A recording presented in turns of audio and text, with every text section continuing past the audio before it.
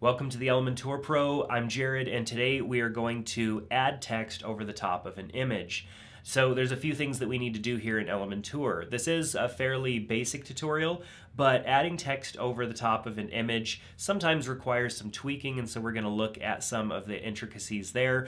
Uh, but what we have here is a simple page that I've used in a few other tutorials on this channel. So if you if this is your first video, you definitely want to click subscribe and check out some of the other tutorials. We're releasing three tutorials a week on this channel, so make sure to click subscribe and uh, like this video and come back and see some other ones after you get done with this one.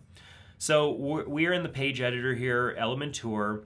Uh, we've got this section here with a background image and we want to add text over it. So we can't add text over an image like this. This is an image block and with an image element block here, we can't add text. If I go and grab the text editor and try to drag it on top, it's not going to work. It's going to put it above or below this section and I don't want that above this uh, this element in this column. I want text over the top of something. So in order to do that, we actually have to put the image in the background of the section.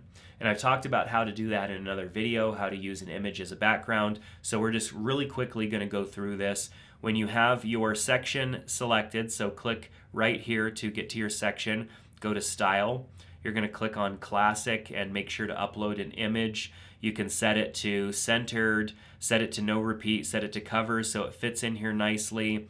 If your image is displaying super tiny like it would in this instance, no space there, can't even see the image.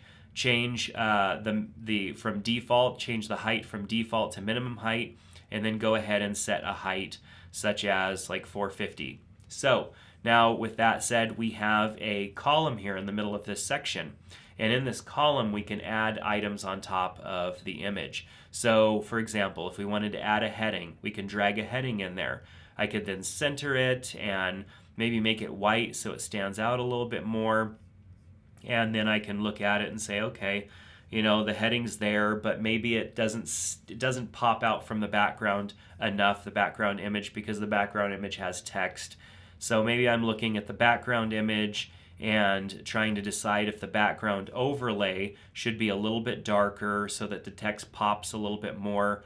Um, I could also consider going into the heading itself. So I'm going to go back into the heading and under style, I can go with text shadow and add a little bit of a text shadow. So I'd want to make sure that I had a color chosen here that I set a little bit of vertical and horizontal offset so that the shadow pops out like a drop shadow.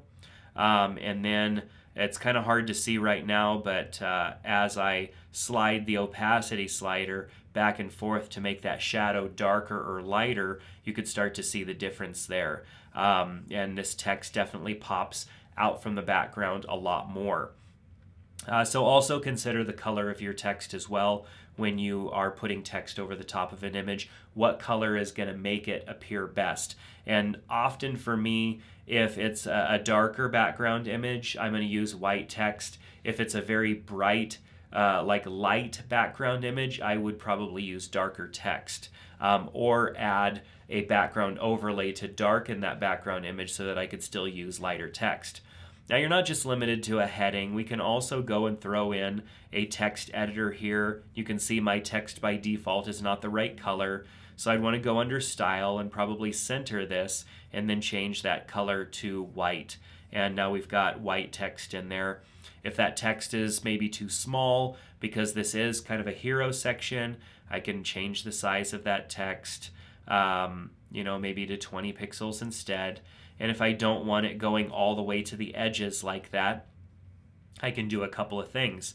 I can either go into the content here and just add a line break like that, and that would work fine. Alternatively, besides just entering a line break, I can shrink down the overall size of the content width within the section.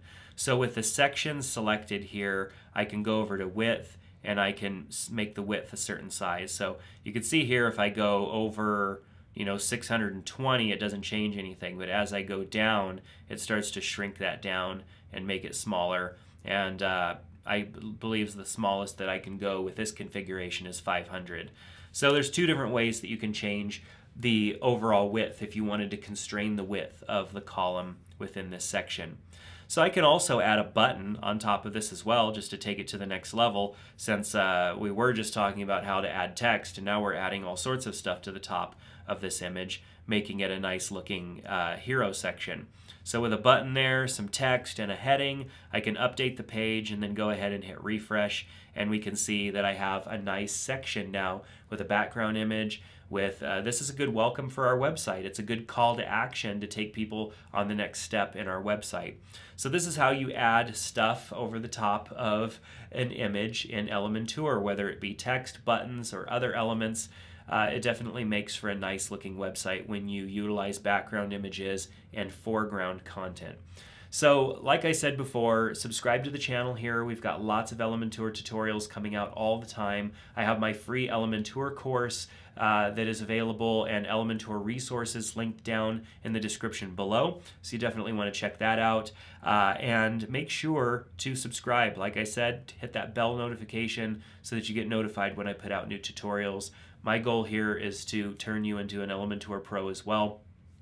We also have a newsletter now that you can sign up for, and you will get notified via email when new videos come out, new resources, and all of that good stuff as well. So uh, we want to be that source for you to help you stay on top of your web page building and Elementor. So subscribe, and I appreciate it. But until next time, I hope all is well, and we'll see you in the next video. Take care.